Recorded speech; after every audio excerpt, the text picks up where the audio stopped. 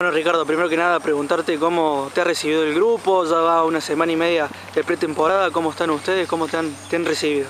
No, la verdad que, que muy bien, eh, hay un gran grupo, buenas personas, me encontré con un grupo de compañeros muy bueno y bueno, la verdad que bien.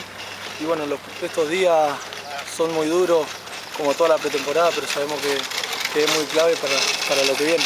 ¿Por qué elegiste venir al instituto? ¿Te gustó la propuesta del club, un club grande de la categoría? Sí, sí, eh, más que nada por eso. Es un club grande de la categoría, es un club grande acá de Córdoba. Eh, sabemos que siempre está peleando ahí arriba y bueno, me gustó esa propuesta. Eh, y también tuve referencia de muchos chicos, la verdad que es un, un buen club.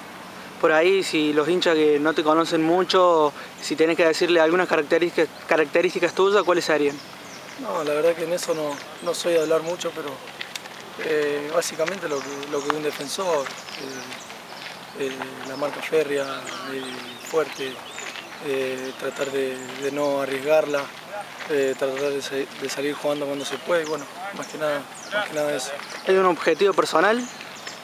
No, el objetivo personal es siempre seguir creciendo en, en, en, lo personal y bueno, obviamente que también lo más importante es el, el objetivo grupal, que es tratar de de, de pelear arriba hasta, hasta, lo último. ¿Para qué va a estar este instituto, crees vos? No, yo creo que por lo que se ve en, en, estos primeros días y por lo que dejó la imagen del último torneo, seguramente vamos a estar peleando ahí arriba. ¿Prometes algo para el hincha? No, eh, solamente sacrificio, mucho trabajo, esfuerzo y bueno, eh, como siempre con muchas ganas y dejando todo en cada partido.